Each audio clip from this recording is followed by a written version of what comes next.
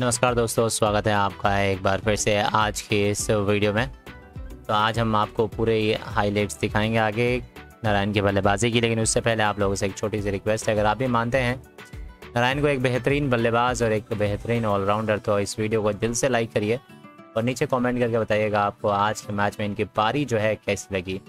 चलिए वीडियो शुरू करते हैं, बिना किसी टाइम वेस्ट करें। और आज के मैच में अगर हम बात करें सुनील नारायण को, आज एक बार फिर से मौका मिला और नारायण को आज ओपनिंग नहीं भेजा गया ओपनिंग में नीतीश राणा आया, लेकिन नारायण को भेजा गया नीचे में बल्लेबाजी करने के लिए दिनेश कार्तिक के बाद। जिस टाइम पे बल्लेबाजी करने के लिए उस टाइम पे बहुत ही ज़्यादा यहाँ पर हम बात करें तो विकटें गवा चुकी थी, तीन विकटें गवा चुकी थी और तीन विकटें इतनी जल्दी गिर गई थी बयालीस रनों पर उसके बाद आए सुनील नारायण बल्लेबाजी करने और इन्होंने मिलकर आज के मैच में नीतीश राणा के साथ एक बढ़िया पार्टनरशिप करी। और टीम को जो है यहाँ पर पहुँचा दिया। हम बात करें एक सौ चौरानवे रनों तक छः विकेटों पर बीस ओवरों में।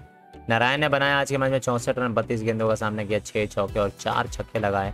बगीश्वर अबाड़ा ने उनको आखिरी में आउट किया, जिनके रहाने ने उनका कैच पकड़ा। और इन नारायण और राणा ने मिलकर सौ रनों के ऊपर की पार्टनरशिप करी दोनों ने मिलकर और टीम को पहुँचा दिया 194 पे चार विकेट। अभी नीचे कमेंट करिए और बताइए आपको नीतीश राणा और, सुनील नारायण में से पारी किसकी बढ़िया लगी? चलिए मिलते हैं अगली वीडियो में, तब तक के लिए बहुत बहुत शुक्रिया। Thank you so much watching and take care guys bye bye